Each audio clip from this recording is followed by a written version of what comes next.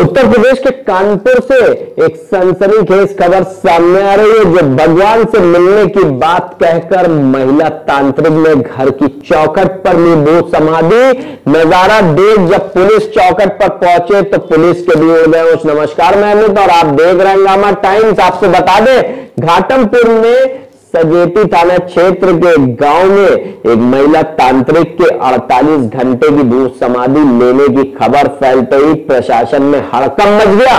महिला तांत्रिक ने भगवान से मिलने की बात कहकर घर की चौखट पर बनाए गए गड्ढे में खुद को दफन कर लिया। महिला करीब पाँच घंटे तक अंदर ही रही। आइए डालते सनसनी खबर पर नज़र उत्तर प्रदेश के कानपुर की।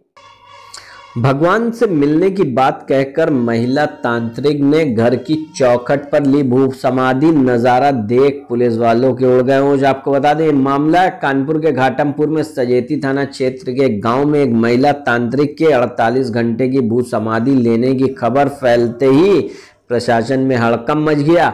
महिला तांत्रिक ने भगवान से मिलने की बात कहकर घर की चौखट पर बनाए गड्ढे में खुद को दफन कर लिया। महिला करीब पाँच घंटे तक अंदर ही रही। खबर मिलने पर पुलिस व प्रशासनिक अमला आनंद फानन मौके पर पहुँचे। पुलिस ने महिला को बेहोशी की हालत में समाधि से बाहर निकाल कर अस्पताल पहुँचाया। परिजनों को हिरासत में लेकर पूछताछ की जा रही है। आरोपियों के खिलाफ रिपोर्ट दर्ज कर जेल भेजे जाने की तैयारी की जा रही है। आपको बता दें, गाँव निवासी किसान राम सजीवन प्रजापति की पत्नी गोमती उर्फ़ गयाश्री पिछले कई सालों से तंत्र मंत्र का काम कर रही थी। इसी सिलसिले में उसके पास कई लोगों का आना जाना भी लगा रहता था। बुधवार को सुबह करीब नौ बजे पूजा पाठ के बाद भक्तों के सामने गोमती ने घर की चौखट पर खोदे गए गड्ढे में समाधि ले ली।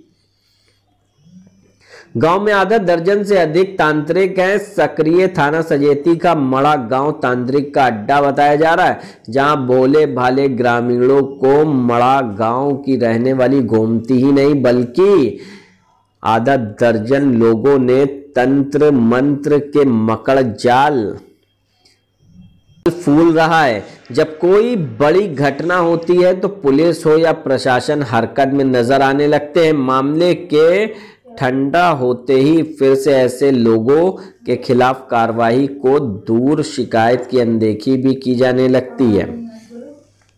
आपको बता दें, तांत्रिकों का मकड़ जाल तोड़ने में पुलिस नाकाम कोतवाली क्षेत्र के भद्रस गाँव तंत्र मंत्र के चक्कर में बच्ची का कलेजा खाने की अमानवीय घटना लोगों के जहन में अभी भी उतरी हुई है। वहीं फिर से मड़ा गाँव में समाधि लेने की घटना में हलचल मचा दी है। ग्रामीण क्षेत्रों में अभी भी तंत्र मंत्र करने वालों की कमी नहीं है। ऐसे लोगों को चिन्हित कर उनके खिलाफ कार्रवाई न किए जाने के चलते दिन पर दिन तंत्र मन का मकर जाल बढ़ने लगा ऐसो गिरीश कुमार ने कहा कि क्षेत्र में तंत्र मंत्र के ज़रिए अंधविश्वास फैलने वालों की शिकायत पर जाँच के बाद कार्रवाई की जाएगी। लोगों के बीच जागरूकता अभियान भी चलाया जाएगा। हंगामा टाइम्स भी